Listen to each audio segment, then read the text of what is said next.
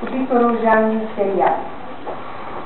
Participă la numeroase expoziții de grup și personale, atât în țară cât și peste hotare. De exemplu, Bienala de la Veneția în 62, expoziția de artă non-abstractă de la Tokyo în 66 și multe altele. Și la București, Budapesta, Atena, Oslo, Calcuta, Bruxelles, Helsinki, Praga, Viena. În 1962 obține premiul pentru pictură Ion Andreescu al Academiei Române. În 1981, Marele Premiu al Uniunii Artiștilor Plastici din România, apoi Marele Premiu Internațional Tionco 1981 și Premiul Omagiului lui Picasso la Roma. În 1969 desfășoară, din 1969 desfășoară și activitate didactică la Institutul Pedagogic București, apoi la Institutul Nicolae Grigorescu. Lucrările lui ar putea fi structurate pe mai multe uh, teme.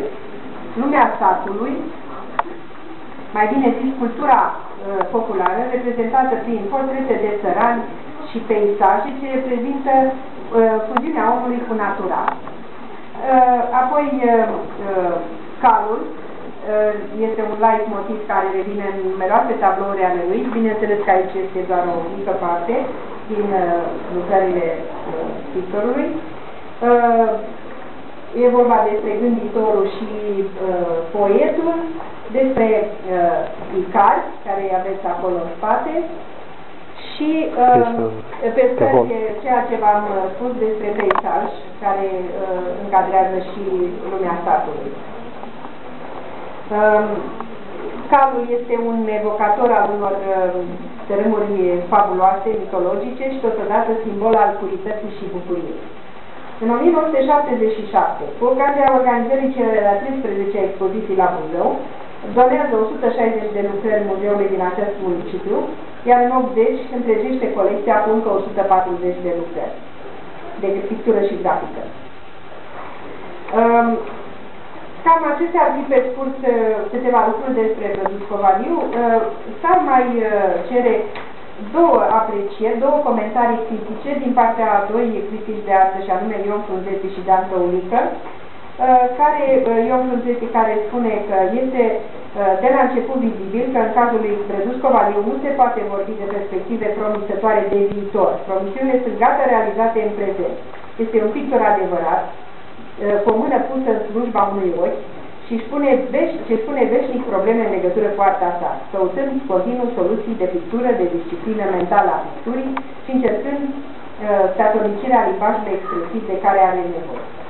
Iar Dan Hăunică spune în felul următor, Vădus Covaliu își poartă visele și nostalgiile spre o scenă cu mult mai vastă, Circularitatea aceasta e mai degrabă planetară, e a luminilor, a globurilor cosmice care alunecă într-un spațiu infinit uh, infinit, o înrăurire de lumi care izvorăsc necontenit. Probabil se referă în special la uh, ciclul Ricardo.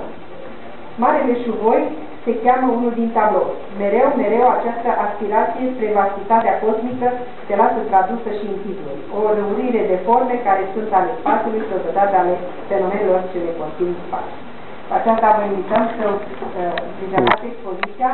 Deci pe scări sunt peisajele uh, care uh, și practic lumea satului. Aici, după cum vedeți, uh, ciclul uh, cailor, deci light motivul cailor care apar în lucrările lui. Uh, gânditorul, poetul, Icar, uh, partea aceea și câteva portrete care apar uh, cum să completeze colecția. Uh, după cum vedeți, ca și cromatică, nu se folosesc culori stridente, ci culori uh, calme, uh, plăcute ochiului. Și ca și cromatică, nu are rost să insistăm, pentru că în rest ar fi niște noțiuni absolut tehnice, deci vă rămâne doar să priviți cu plăcere lucrările și poate să vă regăsiți cumva uh, o lume uh, spirituală în aceste uh, lucrări, în care vi se par dumneavoastră mai plăcut de ochi.